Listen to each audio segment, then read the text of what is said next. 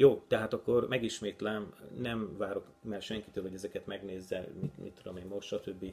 Engem különösebben nem, hogy mondjam, nekem nem fontos ez, hogy nem is tervezek ilyesmit, hogy ilyen véleményvezér legyek, vagy ilyesmi, mert megismétlem, hogy én nem, által, nem eredeti gondolatokból dolgozok. Tehát ezek a gondolatok, ezek nem a sajátjaim, hanem, hanem, hanem mások már előttem ezeket elmondták, kimondták, és igazából én csak körülbelül összegzem magam számára, és ha ezt valaki ezzel tud valamit kezdeni, akkor az kezdjen.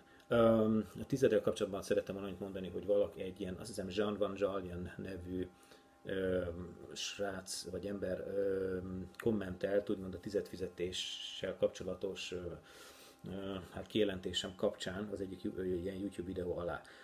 És elkezdte ugye ezt az szokásos, ezt az ismert a Higgyüliből, a Ruftibor, meg mások révén ismert hogy mondjam, érvet fölhozni, hogy a tizedfizetés az nem a mózesi törvény, meg nem izé, hanem hogy Ábrahám, meg minden.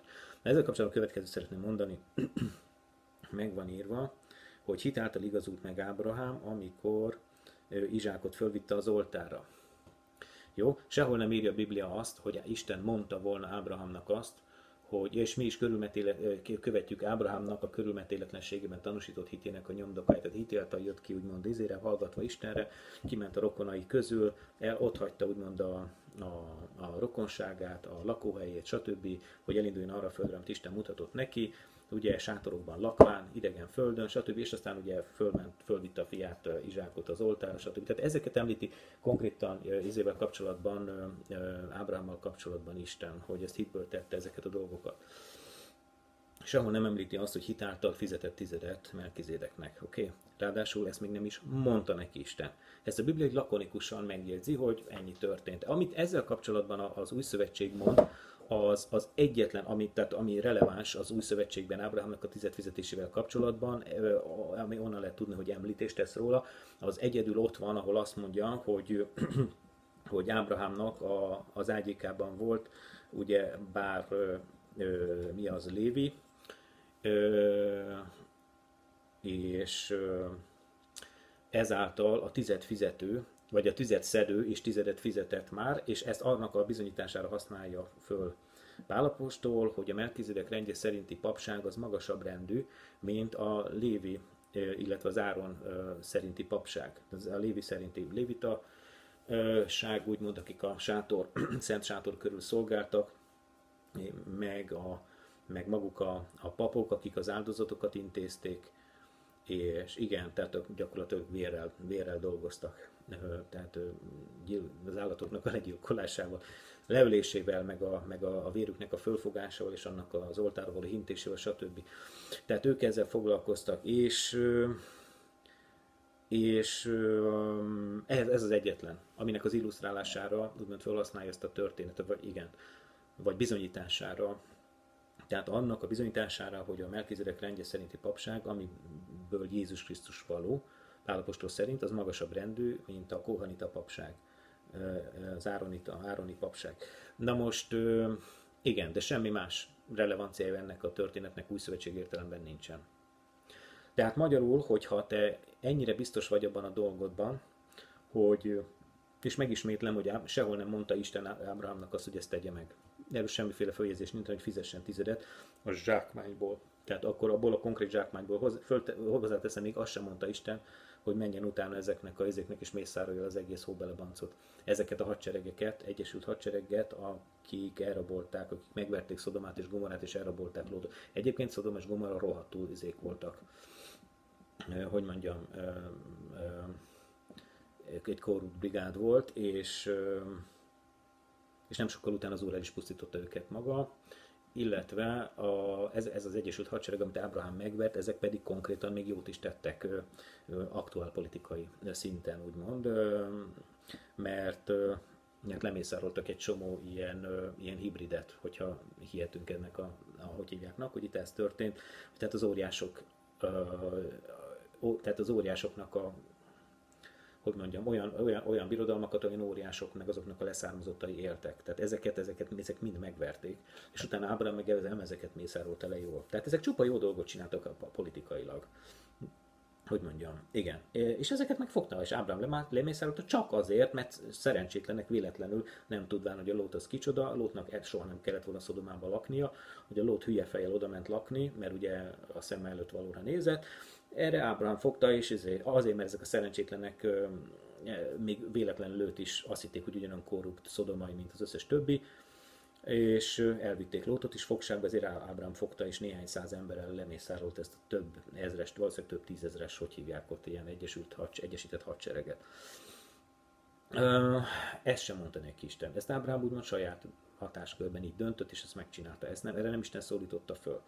Aztán ebből a zsákmányból utána tizedet fizetett Melkizédeknek. Erre sem szólította föl Isten.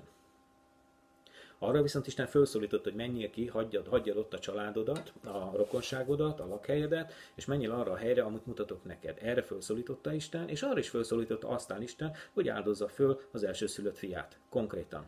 Erre felszólította, és ez a két dolog az, amit Ábrám hajlandó volt megtenni, vagy hajlandó lett volna megtenni. Tehát igen, és ezek, ezekkel kapcsolatban dicséri meg Isten. Oké? Okay? Tehát, hogyha ti azt mondjátok, hogy azért az új szövetségben azért van tizedfizetés, azért kell tizedet fizetnünk, mert, mert Ábrahám is tizedet fizetett, és ez a hitnek a cselekedete, akkor közönséges csalást és a Bibliának a meghamisítását követitek el. És visszaértek, úgymond, és visszaértek Istennek a tekintélyével és Jézusnak a nevével ha azt mondjátok, hogy Istent meg, hogyha nem, nem fizetsz tizedet, mint új szövetségi hívő. Mert hogyha konzekvens akarsz lenni, akkor menjél el, és menjél el, érted a, mit tudom én, lapföldre, vagy éppenséggel a tűzföldre, teljesen mindegy, vagy menjél el mondjuk Pakisztánba, vagy, vagy tényleg valahova az hegyekbe, ezekbe a barlangokba, igen, és, vagy, és lakjál sátorokba és aztán amikor születik elsőszülött fiad, akkor vigyed fel az oltára, és tedd a kést a izére, a nyakára. És hogyha nem szól neked angyal az égből, akkor már elnézést kérek, ezt csak azért mondom, hogy mert ez, er, erre Ábrámot felszólította Isten, és ez ügyben dicséri meg aztán Ábrámot, és ezért nevezi Ábrámot a hit atyának, és ekkor van az, hogy Isten megáldja őt, és azt mondja, hogy én magamra esküszöm, mondja Pál, mert nem esküdhetett nagyobbra, ha jól Pál mondja, azért Isten azt mondja, én magamra esküszöm, hogy megáll, amiért ezt cselekedted, megáldva, megáldalak téged, stb. és egy csomó áldást mond neki, és, és egy olyan áldást kapott Ábraham, se előtte, se utána. Ö, és ott lehet látni, hogy Isten borzalmasan, borzasztóan megindult azon, hogy Ábrahám ezt hajlandó lett volna végigcsinálni, és megkockáztatom, hogy ez volt gyakorlatilag az a, az a, az a dolog, ami, ami, ami Isten letesztelte, hogy korrekt, tehát dolog-e az, tehát hogy ezt az emberek föl tudják-e majd fogni, meg van ennek, tehát hogy működik-e ez a dolog, hogy valaki a saját fiát föláldozza. És lehet, hogy itt volt az, hogy Isten azt mondja, hogy lehet, hogy nem, nem, egy, nem egy elmebeteg dolog, hogy én ezt megcsinálom. Majd később, úgymond a saját fiammal. Tehát, és lehetett látni, hogy Isten ezt meg akarta csinálni, de valamiért úgy le akarta Ábrahamon ezt modellezni, ezt a dolgot előtte. Nem tudom, hogy miért. Tehát én nem ismerem Istennek a izéjét, úgymond a, gondolkodását nyilván, mert ha ismerném, akkor nem tudnék istenfélő lenni.